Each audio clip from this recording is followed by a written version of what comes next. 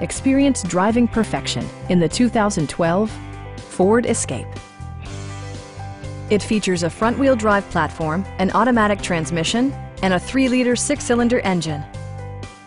Comfort and convenience were prioritized within, evidenced by amenities such as a tachometer, a leather steering wheel, remote keyless entry, rear wipers, and one-touch window functionality.